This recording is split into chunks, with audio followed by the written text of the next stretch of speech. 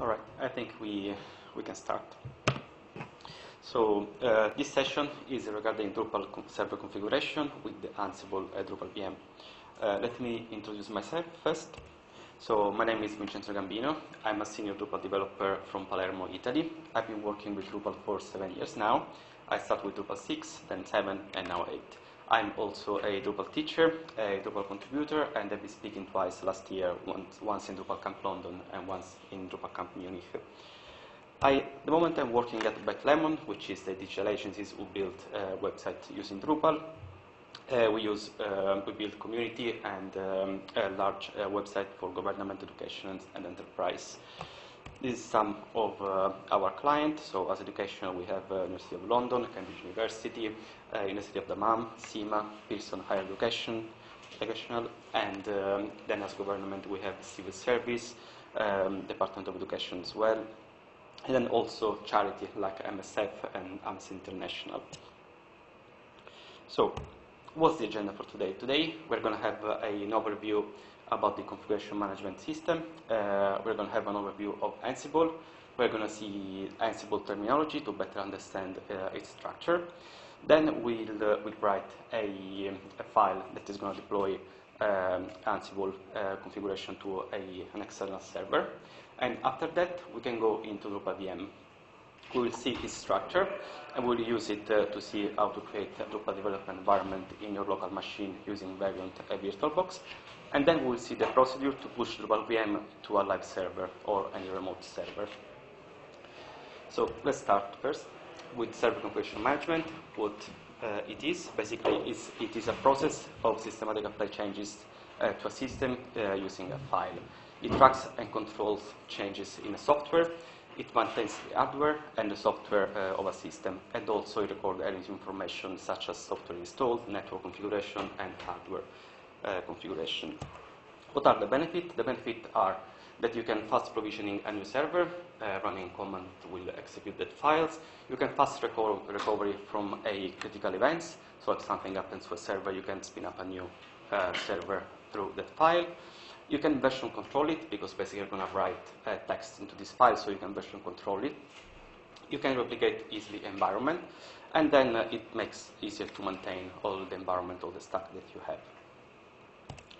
So Ansible, Ansible is one of the management configuration tool, and uh, it's use uh, YAML files to write uh, its configuration. So basically, everyone who's used Drupal 8 now knows YAML. It applies configuration over the SSH. This, for this, you can trigger um, you can trigger the Ansible command from any machine, and then it does not require any special software on the node, so on the external server. So we'll see the terminology. So we have the playbook, which basically is the starting point where Ansible is provisioning the machine. There you can write um, um, uh, you can write the configuration of the machine. We can write the tasks.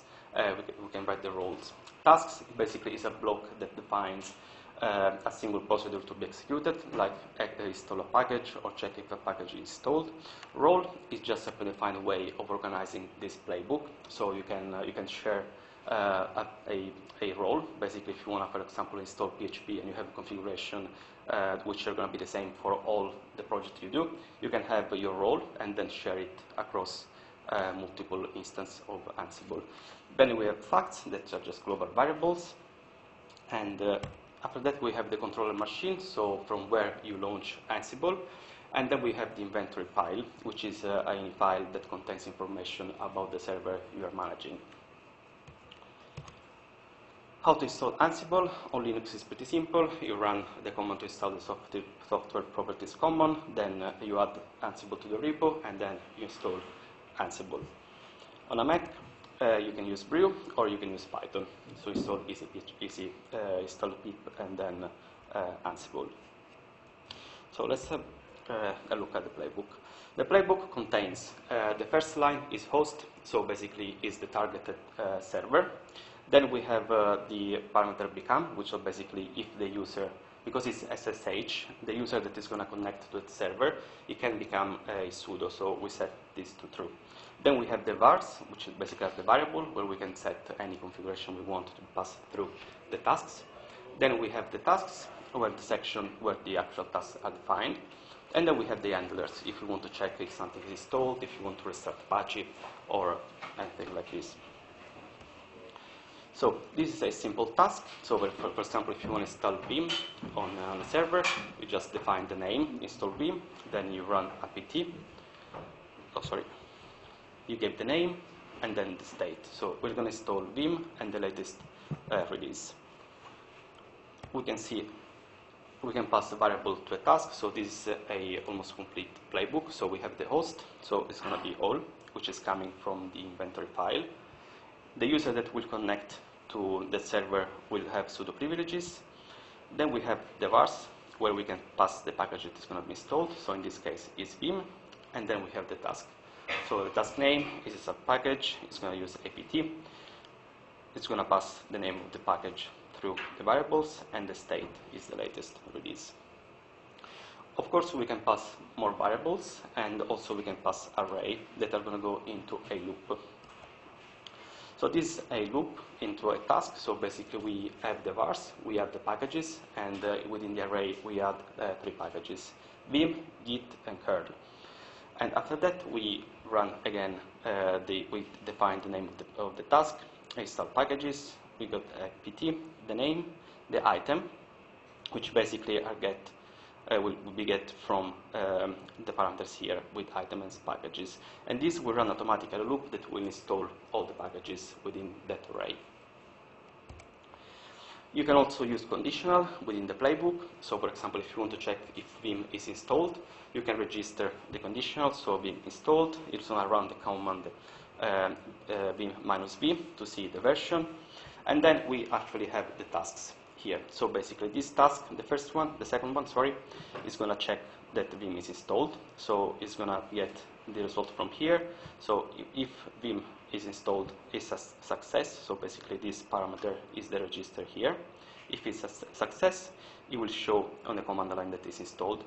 Otherwise, we'll, uh, we'll uh, output a message that Vim is not installed if uh, the first task is failed here.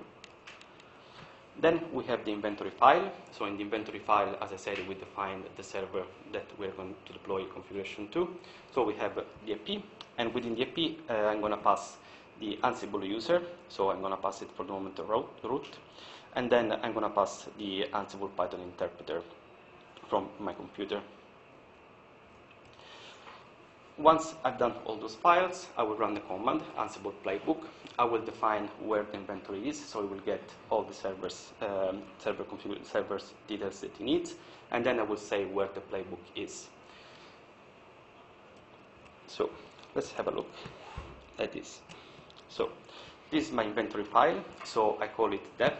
You can give any name you want. Then I give it the IP and then I gave the Ansible SSH user root and then my location for Python.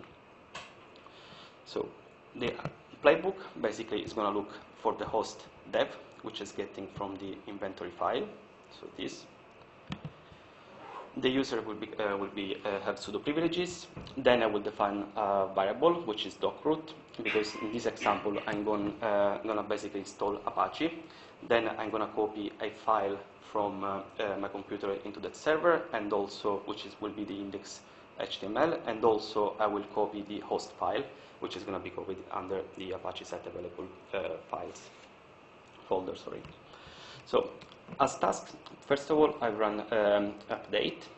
Then I will install Apache. So I have the task install Apache, the name and the latest release. After that, I will create my docroot, and the docroot parameter will be get by uh, variables will be a directory and I will set up permissions as well. After that, I will copy uh, my index file from my uh, from my folders templates, and I will paste it and I will copy into uh, the destination folder in index.php in the server. And after that, I will run. Um, I will copy the vhost template into the site available uh, folder uh, within Apache in the, the, target server. And after that, at the end, I will restart Apache. So this is my vhost file. This is my index.php. So from here, we can see that this is my Ansible folder. So I have my playbook in the root. I have the inventory folder with the inventory file. I have the template with the index and the vhost file. So now I'm ready to run the command. So I run the command uh, Ansible playbook minus i. I will say where the inventory file is and where the playbook is, and I will see what's going to happen. So it's playing the dev, dev uh, inventory. The task is setting up, so it's updating. Now it's installing Vim. Again, it's updating. Now it's installing Apache. It's creating the custom document root. It's setting up the HTML file. Set up Apache virtual host file. So all those names will be taken from the playbook file, so they will reflect those here. So create custom document root, set up HTML file. So you can actually see what is happening. So now if I go here, the refresh, I have the site up and running in my IP. So this is a server that I created on DigitalOcean. So if I want to do any change, for example, let's say to the index, so I will go here, I will change it, I will save it, and now if I refresh, of course because it's my local, it will not reflect on live. So I need to provision again the machine. So I will run the command again. So it's playing dev, it's setting up the tasks, installing Vim.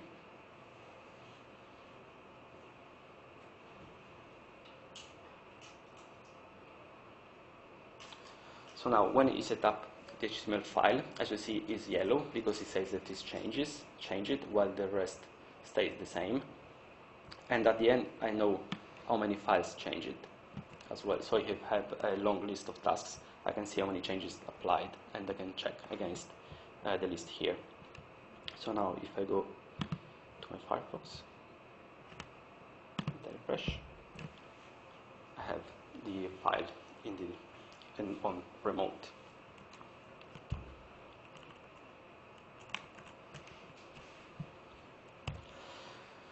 Now, before I mention roles, so basically to write new roles, you run the command, the command Ansible Galaxy init, and then you pass the role name. In this case, I'm going to create, I'm going to create a role that will install Vim.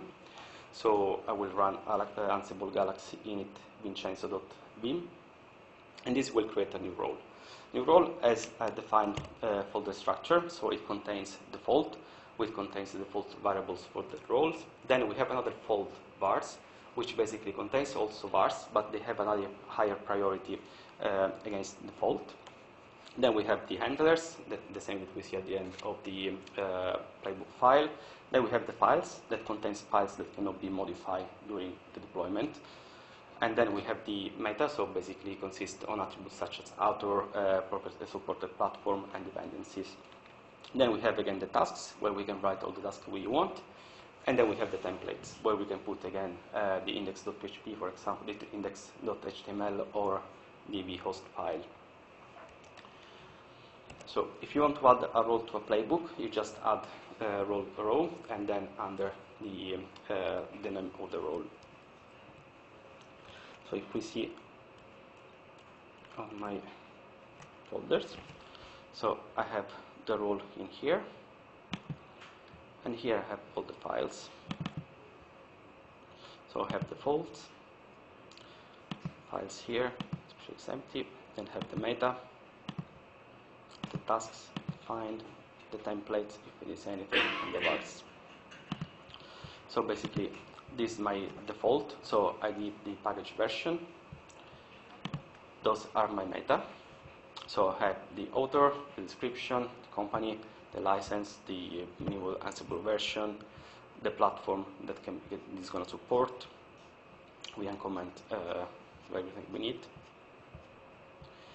We can tag it and also we can add dependencies on other roles or tasks. And this is the actual task. It's slimmer than the, uh, than the playbook file. So, and from the playbook, I'm gonna call this role from here. So basically it means that this role can be used on many other uh, Ansible folder that I have on my machine.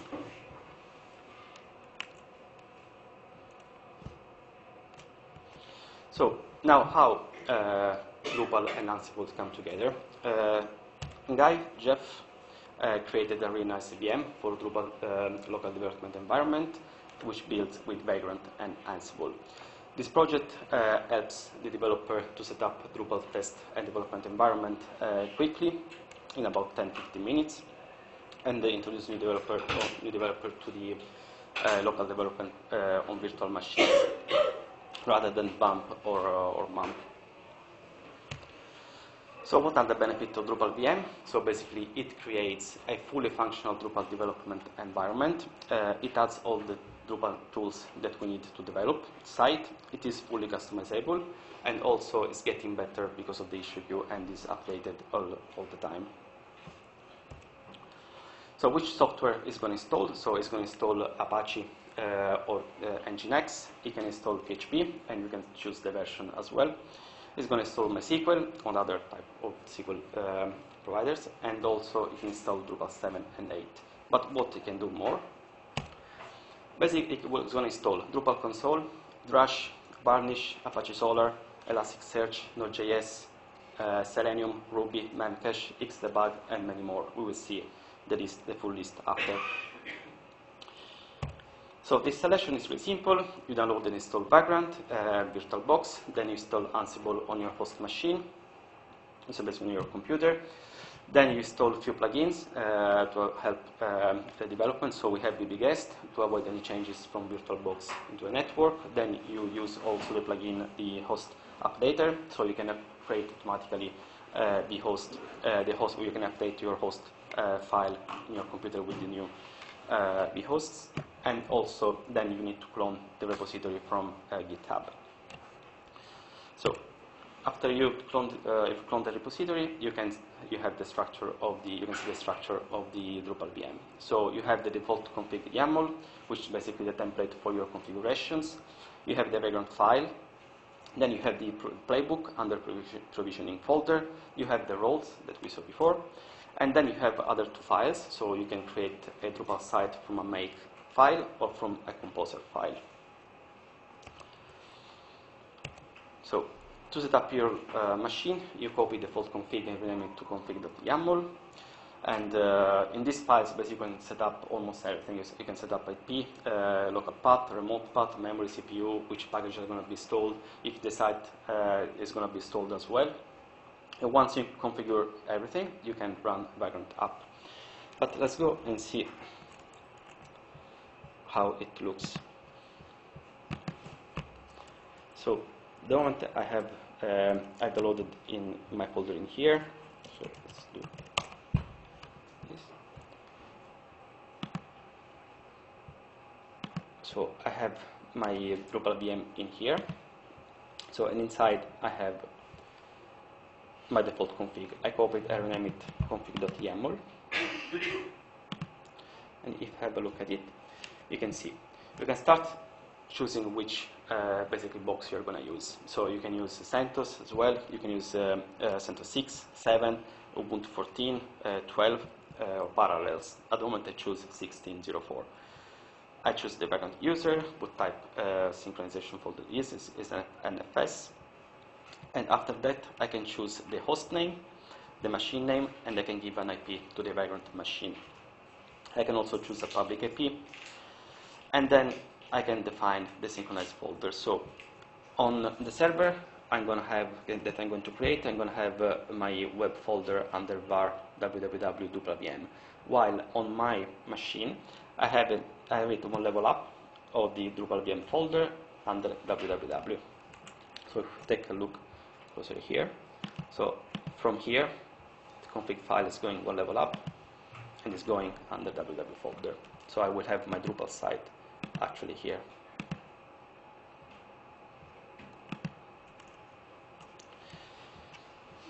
I can define uh, how much memory I want to give to the machine, how many CPUs.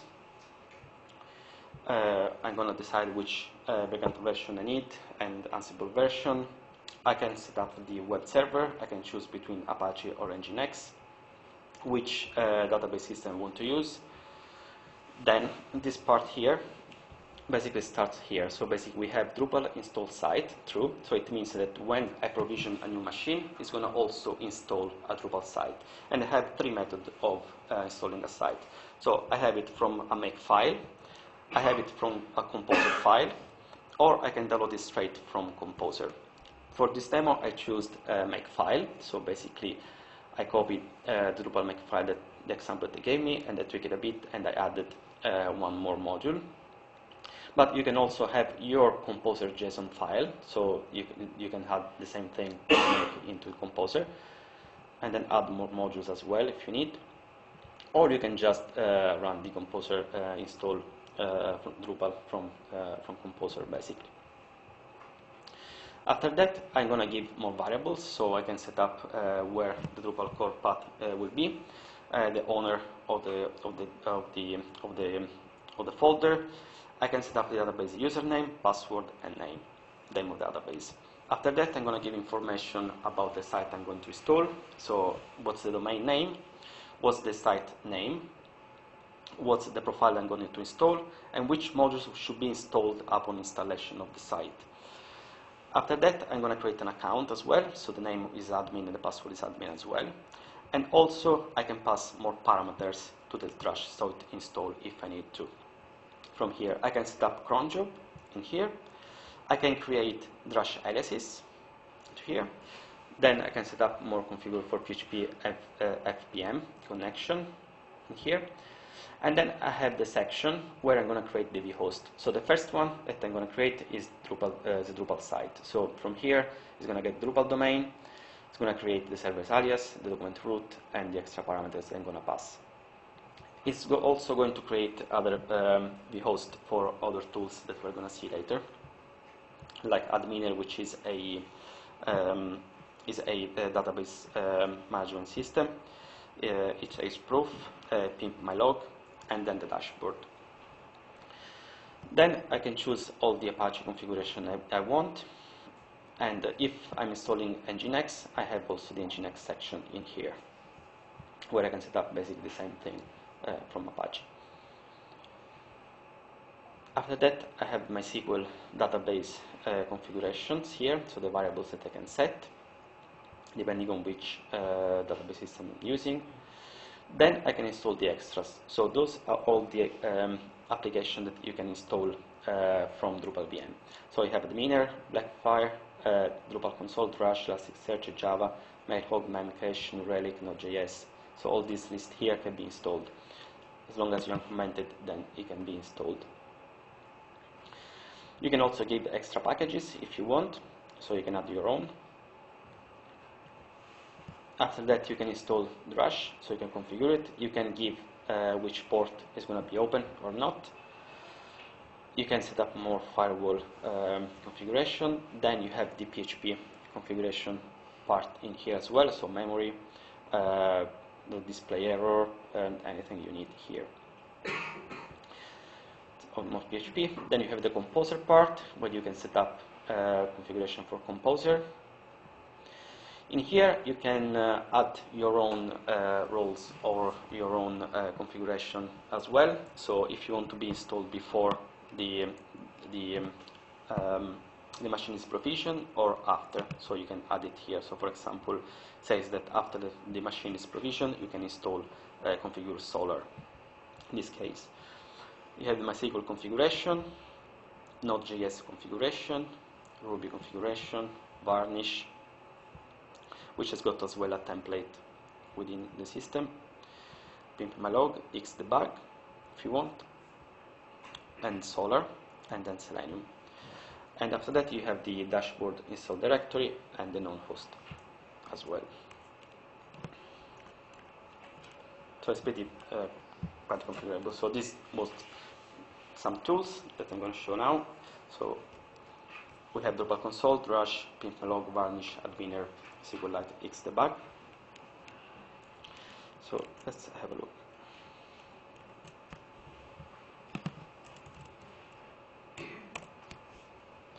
So this is my site integrated uh, within uh, Drupal VM. So I can log in with the credential I set there.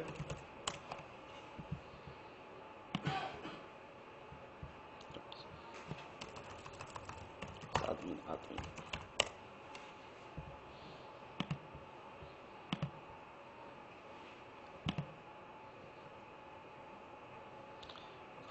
We have also, also extend.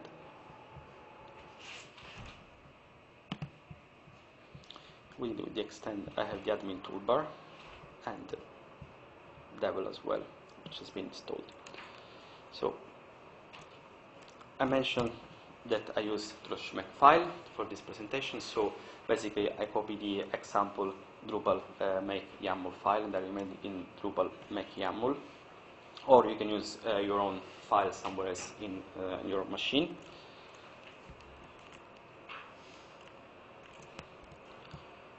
Basically, in this case,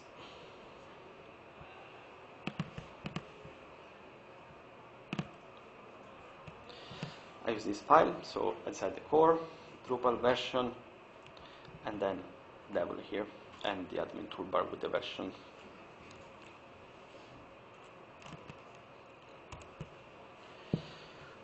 Now, I mentioned before roles, so we're going to see which roles are included on Drupal VM. So we have LAMP, Composer, Solr, Drush, uh, Drupal console, Drupal, and many more. Which one we're going to have a look now will be Drupal role. So we can see how it works, how it's going to install the site, and how it's going to run Composer as well. So within the main folder, we have the folder provision. And here we have a list of roles. So the one that we're going to have a look at is Drupal one. So we start with the tasks and we see what we have. We have uh, Drupal Composer build Drupal build Composer project, build Composer, build Makefile. So this one is the one that the system recognized when I gave through uh, to build from Makefile. So as you see, is a list of tasks. This list of tasks uh, is gonna uh, create uh, copy Drush Makefile into place. So it's gonna get it and um, add it to a temporary uh, folder. When the site is not installed, it's not installed. If the site is installed, it's not going to run this task. So it, again, it checks the folder and generate the Drupal site uh, with drush make file. So it's going to run this command. So it's drush path make minus y, and then you have the Drupal uh, make file that is going to run when again the Drupal site does not exist. Then you check if there is a composer JSON inside, and then it's going to run the composer, uh, the composer command under here. So basically, it's to say basically that uh, it's to uh, it's to go into the folder and it's to go it's to run composer install. While, for example, uh, to generate the site, it's to call the drush path and to make drush, and then run this command within the Drupal core path that we passed from the config YAML file. So this task just uh, downloads the site from a drush make file. And now we have the site installed. So this one is responsible for installing the site.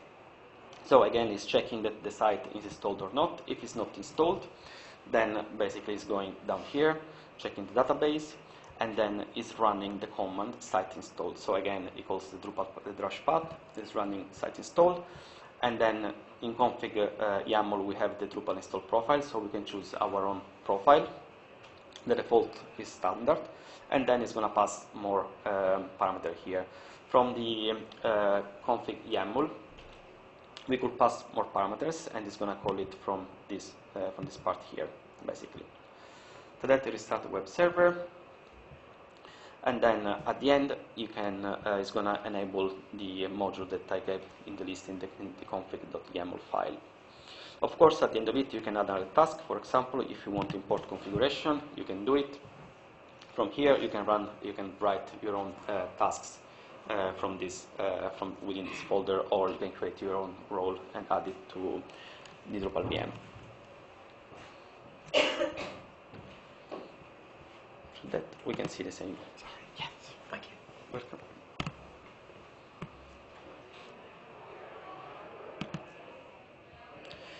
So this instead is the composer file. So as the uh, as for the uh, make file, we have uh, this time we're going to run it from a composer. So it's got again it's got the uh, the tasks and the path in here. So the run install, the command, and everything, and, and then it's going to add the required files as well. So, as well, then we have uh, many other roles. So here is the list of the roles within provisioning roles. So you can also come here and add your own roles or modify it as per your need.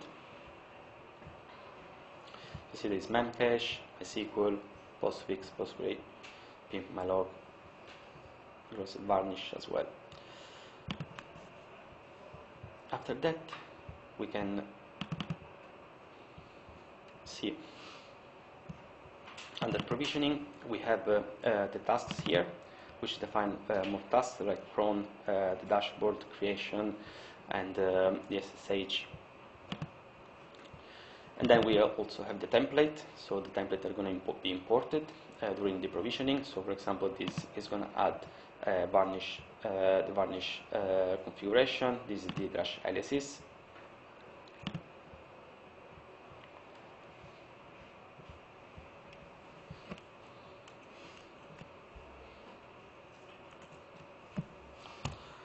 So, as I mentioned before, you can deploy your Drupal VM configuration from your local to uh, your remote uh, machine.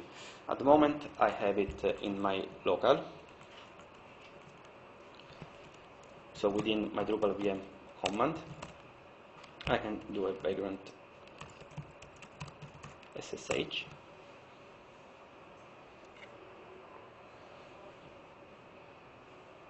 And I was going to log into my uh, box in uh, VirtualBox.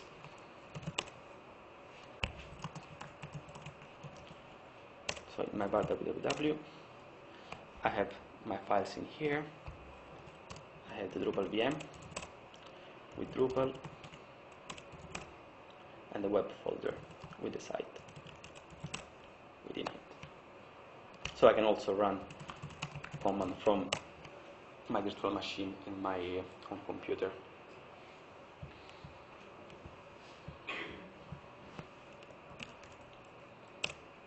Clicking exit, I'm coming back to my computer. So basically, to deploy site to live, uh, we need to go into the example prod folder, copy the inventory file, rename it inventory, and then do the same thing with prod config inside the example uh, prod. And there we can add the extra configuration for your production environment or your remote environment. To do that, you can create a droplet on DigitalOcean. Uh, you can set up as Ubuntu 16.04 and 1 GB of RAM. And then you need to make sure you can log in from your local computer um, doing SSH root at IP. So you can customize the config YAML for production. So you copy the same file as the, the previous one. You copy it and uh, you rename it config YAML, and then you can override every parameters you want for uh, your live environment. You need to change your inventory, inventory file, so you need to set up uh, the name and then the IP. And then you, get, you need to give the SSH username. After that, you again, as we did before with the previous um, command, we run Ansible playbook. We say where the inventory file is, and then we give the init YAML that will create a user and then will uh, set up uh, the machine. For a remote one, it will take again 10-15 minutes, and you have the same server installed on DigitalOcean. To have an example of the folder, we have example. So you can deploy to Acquia, prod, and you have all this script as well. So into prod, I have the inventory here, which I changed with my server in here. And then you have the config as well. So again, I kept the same uh, name, the same configuration because I want to have uh, my local environment the same as the production environment. So I'm not going to run into any problem of uh, PHP version or any kind of missing configuration, missing packages that is not going to be on production environment.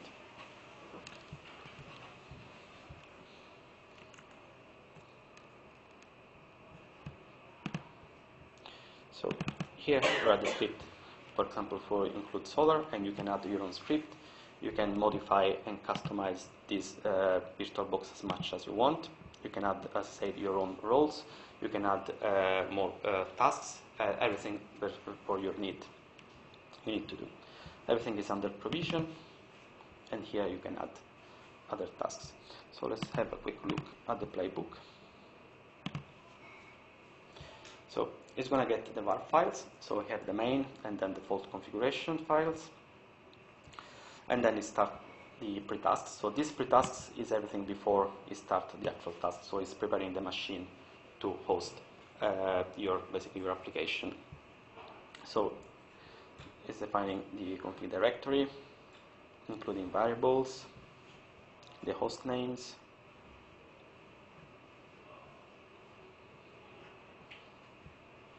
And then here we have the roles. So all the roles we saw in that folder is been added here. The workspace too. So for example, uh, it's going to install Java. If, uh, in this case, it's going to install Java if uh, the Java is in the list of installed extra in our config file, or it's going to install Solr, or Selenium, or Elasticsearch, because it's a dependency, it's going to install Java as well. So you can do the same if you have uh, other packages. It's going to create uh, Python symlink. It's going to include other tasks. Include the role. So at this point, it's going to install uh, Drupal. After it installs Drupal, it creates a Drush aliases and run the crons. It creates a dashboard. And then it runs the post uh, provision configuration if you need uh, to.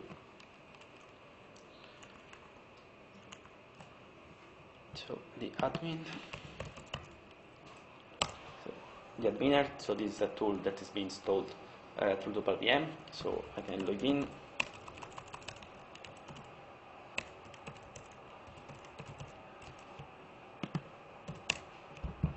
And here I can manage a database. It's really simple one. It's not uh, it's nothing fancy. You can create database and start privileges at users really quickly. What you want to do as well, you want to see the dashboard.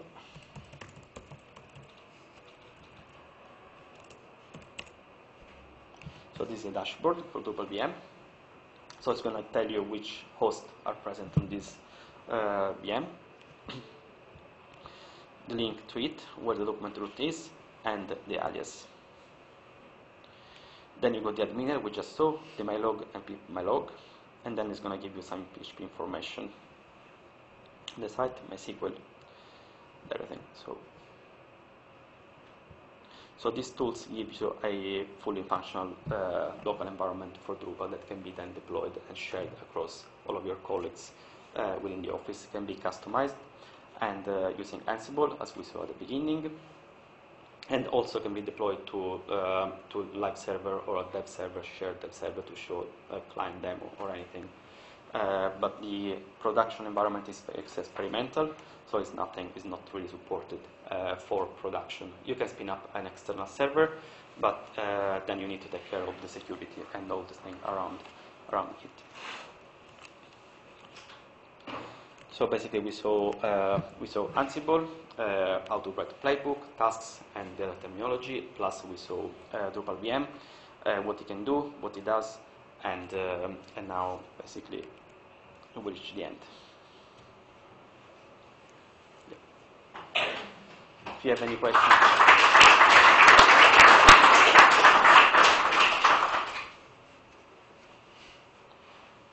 If you have any questions. Yep. I, I'm trying to understand because I, I installed several uh, uh, LAMP servers. Uh, Mhm. in Node and on my machine and using Vigra and then also Vagrant's uh, Mhm. box.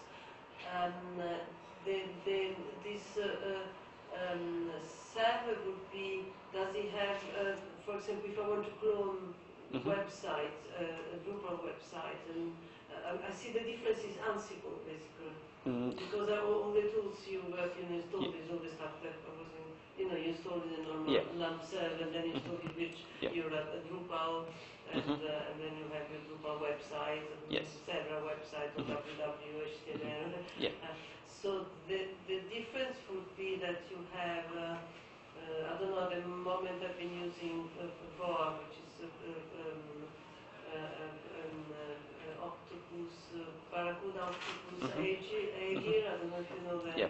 And they have this uh, uh, um, uh, uh, panel uh, that is, uh, you can clone sites and you can Yeah. uh, export. So it, does it give you, is, is it Ansible that makes a difference and gives you the possibility of clone sites and this kind of... Yeah, basically Ansible is just like you use it to configure the server and, and manage configuration between servers. So you can, if you you have a server with a uh, certain PHP version Mm. and uh, you need to install certain packages and you need to re- replicate the same configuration across multiple servers because uh, you have like multiple locations where you de- developed so your colleague is somewhere else needs to have the same configuration you can pass it through Ansible.